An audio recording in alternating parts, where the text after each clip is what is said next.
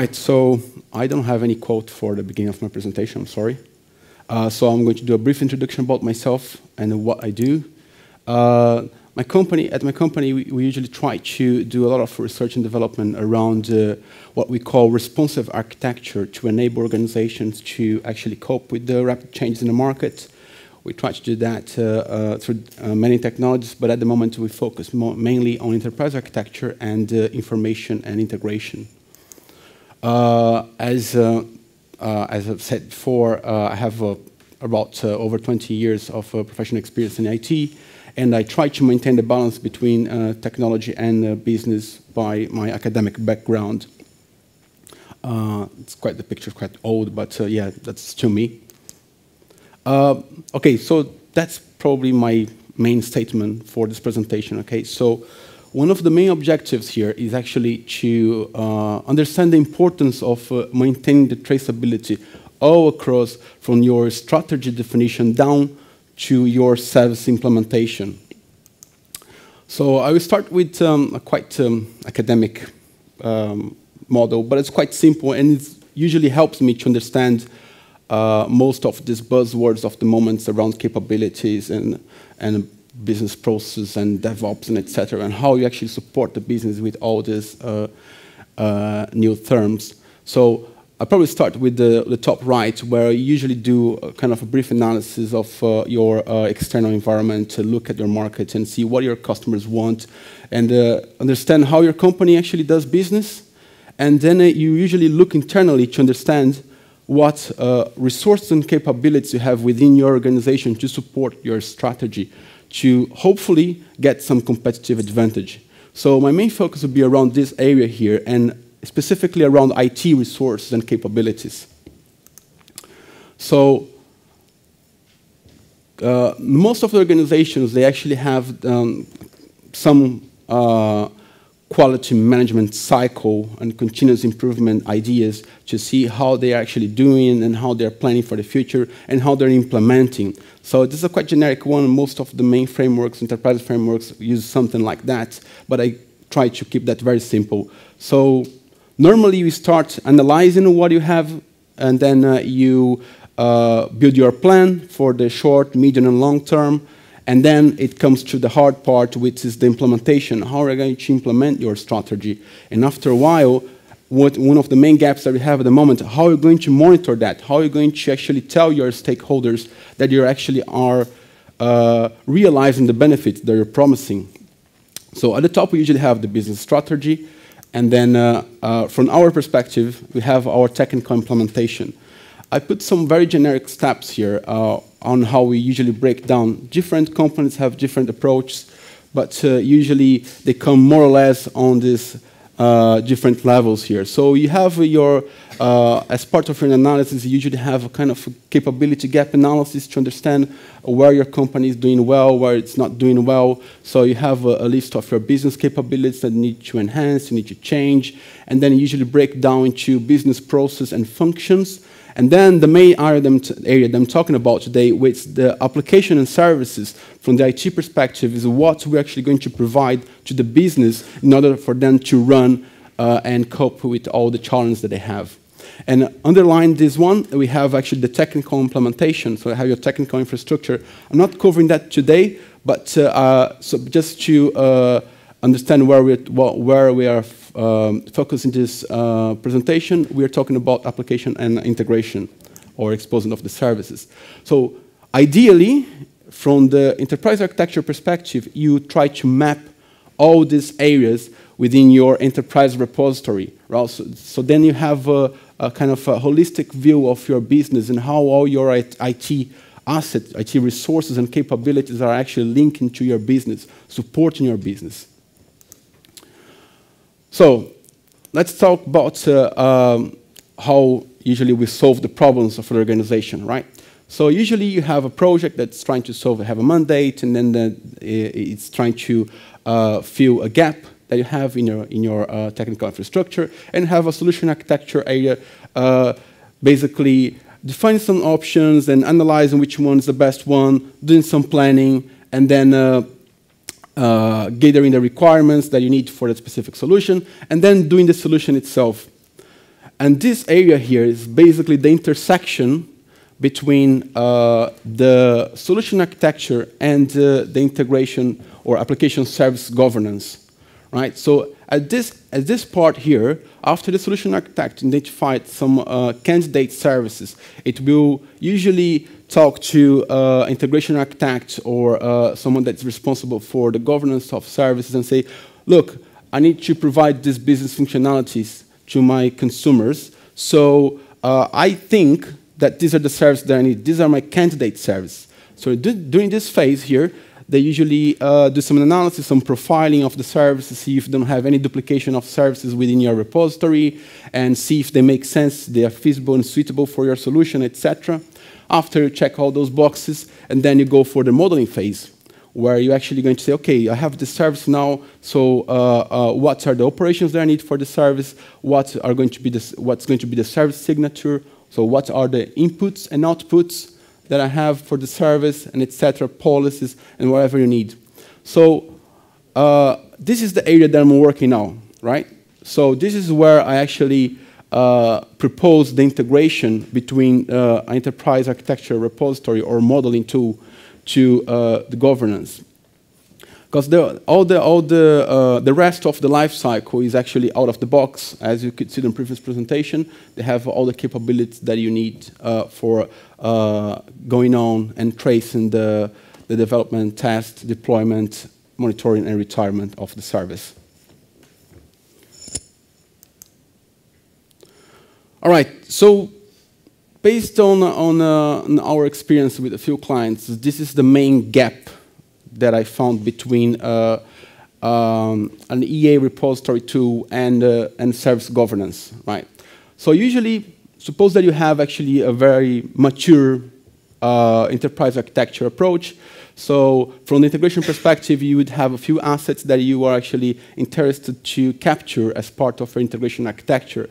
So you may have your, the definition of your logical application that's probably linked to the physical application from enterprise perspective. But at this point in time, I'm not really interested on the physical application. I'm more interested in understand uh, what it is. And then uh, the definition of the application interface. So what's the functionality that I'm exposing from that uh, specific application to align with the business functionality, right? And then based on that one, you can still, you sometimes model the abstract version of the contract. So you have an abstract version of the WSDL or the Swagger uh, that you want actually to um, expose to the integration guys for, the, for their implementation, right? Another side, you have uh, uh, the list, as presented before, you have uh, the list of the services and the contracts and the management of the life cycle as it goes on. Main problem is that uh, usually this transition is done by some uh, different artifacts, right? So you usually have the architects producing uh, Word documents, spreadsheets with some uh, high-level mappings or requirement mappings, and etc., some diagrams and presentation, mainly for the communication and alignment with the other stakeholders, right? So you need some kind of approval and you need some feedback as well to understand if you're actually implementing your solution correctly. The problem is that you actually do this documentation manually, right? So, uh, and then after some time, after you go through all the, the, the, review cycle, usually have some feedback. Then you have a feedback from the presentations and need to change something on the spreadsheets, I need to change something on documentation, and then documentation needs to present that again to have another validation, and then you go on and on, and then you have what I call the woolly gap, which is really, really hard to maintain. You know, it's very difficult and complex actually to understand the release of her documents and how the approval process as well. The main interface between the enterprise repository and all these artifacts is the famous Control C, Control V, right? So not great, not traceable as well. And on the other side, you have, you have handcraft artifacts. So you have uh, someone actually typing the XSDs and the WSDLs, and then it's not great as well, and you don't have any traceability. So based on this gap, these are the main issues that we've been finding, okay? So you have lack of traceability, you don't know actually what you have on your store governance uh, side, how it traces back to your enterprise architecture. So when someone does an, uh, uh, an impact assessment, for example, for a specific solution, They have no idea of what is on the other side, what is live, what is running, what's going well, what is not, other projects that may be using the same solution. Uh, again, some, have some inconsistency on the documentation, so all that's a review cycle that you have, and manually changing documents and manually uh, uh, managing releases and approval process is really, really complex. And of course, it increases cost and time. A consequence of that, it creates resistance of change. So every time you say, wow, uh, it sounds great, but if you actually make this change at this part of your solution, it would be more future-proof, would be more in line with the business, that people say, oh, no, no, I have to go back and actually you know, change all the documents and do, all that, change presentations, spreadsheets, and etc. They say, no, no, I don't want, really want to change. So that's the culture that you usually uh, have as a consequence of this approach. And then if you do anything manually, you're prone to human error, you know. Uh, so what's the proposed solution? Again, we have uh, our mature model in both sides, then what do we usually do? Okay, so we do integration with clouds, with integration between complex systems, we implement complex uh, event process systems. So why not do an automate, automatic synchronization between these two? So let's start to look. People are talking a lot about DevOps, you know, how you actually develop and, and put that in production quite quickly. But what about your architecture? What about the other side? When you actually have the traceability back to your business, when you need to prove that you're actually realizing the business benefits, how do you do that? You know, it's difficult. So if you, if you come to an approach like that and start to look at your tools, your architecture tools and governance tools, and bring them together and integrate, the technology is there. As you could see before, all the capabilities are there. You know, you just need to implement it. It's much, much easier than any cloud integration, any system-to-system -system integration, right? So and that kind of approach brings other benefits as well. So when you actually look at the other potential integrations as well, so say, oh, we still need documentations, we still need to actually tell other stakeholders about what we are doing, right? So come on, it's quite easy. You just for most of the enterprise repository tools, they can do automatic generation of documentation right? So you can just create templates, and based on your solution, on everything that you write on your EA tool, you can publish that. On other side, it's the same thing, okay? So you have integration with most of the analytics tools, so you can actually, based on all the KPIs that you're defining on your service, and this is really important. I think Isabel was talking about that yesterday, around how you actually show your business benefits. You know, uh, to the other stakeholders. This is where you capture all the information and you feed an analytics tools to generate reports and prove to your company that you actually having a return on your investment and making profit or saving money through that automation. And of course, another consequence is of all this, uh, of this approach is you have a better enterprise-wide visibility, you have better discoverability, you have a better impact assessment. So all the way to the top of the organization, you have you start to have like um, senior managers looking at that and say, yeah, okay, this is actually the right direction. This is the right technology that we're going to use this is actually what, how we're going to uh, leverage our business. So uh, the potential here for uh, all these uh, points is up to your imagination, you know. Again, in the, from the document generation as well, most of the, some of the things we're starting to do now is around this area here. So usually Word documents, they're very difficult actually to maintain, right? Mainly around the releases and etc. So you could use some wiki, most of the companies that have technologies that uh, uh, uh, um, work like a week, like for example Confluence. We have some clients that actually are trying some things around Confluence on how you actually have your solution documents, or that specific part of the solution documents that actually are uh, relevant to a specific group of stakeholders. For example, a business analyst doesn't want to read like 100 pages of a solution architecture. He may be interested only on the, on the business architecture part of that. So you can even build those segments and send that specific part to the specific stakeholders to get an approval or a feedback. Okay, then why have we chosen uh, uh, the governance registry from WSO2? Uh, first one, interoperability. I think that uh, uh, I, I, will talk about uh, in, the next about it in the next slide. But we use uh, the admin services from the um, from the governance registry actually to enable the interoperability with the EA tool. So out of the box, it provides you a set of web services that can uh, probably give you, um, correct me if I'm wrong, but I think it provides the entire uh, uh, functionality that you have on the management console. You can have that through these web services, right? So this is how we enable the automation between these two.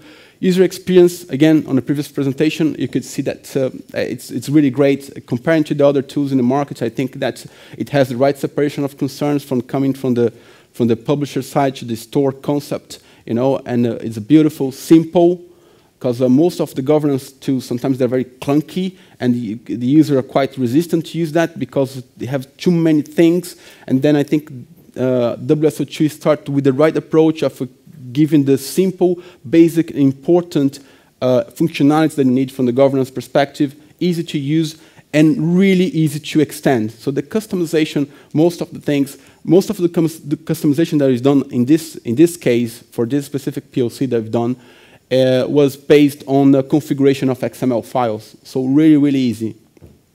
And again, open source is another discussion that we've been having uh, in this event. But the main point for us was uh, cost and extensibility. So this is just an overview of the technical implementation, what we've done. Uh, uh, on, the, on the EA repository side, uh, they have a framework for the specific technology that we use. They had a framework that used uh, uh, an add-in concept, an add-in framework, uh, and you need to develop, develop that in C Sharp.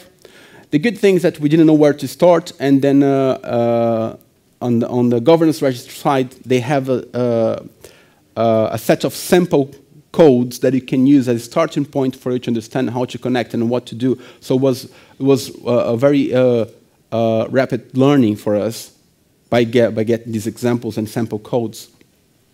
On the other side, of course, we use the admin services out of the box, ready to use there.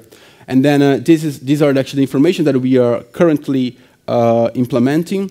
At the moment, uh, we have only one way to the right on the service definition about WSDLs and Swagger. We are implementing now the service lifecycle as well, so you can actually uh, change the lifecycle uh, on your uh, uh EA repository and synchronize that back to your registry. And at the same time, you can apply some rules. For example, if you remember the life cycle that I put here before, and you have identification and and, uh, and the modeling phase, for example, I can actually say, okay, if it's on identification phase, only solution architects, for example, can uh, publish candidate services for identification purpose. And then after that, after approved, only the integration architects or service designers can actually uh, um, model the service and publish uh, the contracts, swaggers or WSDLs right? And then it links back to the service that was defined, all the traceability that you have uh, in the tool, in the G-Reg 2 actually show the dependence between the definition of the service, the respective policies, and the respective contracts. Um, uh, I plan to do a demo, but um, I don't have time. So um, I would like to propose if anybody wants to see it, how it works in practice, and uh, you can spare like 10, 15 minutes during lunchtime. I'm more than happy to show that on my laptop. And then that's it. If you want to contact me, please keep in touch. Feedbacks are always welcome. I'm always, learning from this, this conference when I have some good feedback, and I take that on board to understand what I'm going to do in the future. So thank you very much for your attention.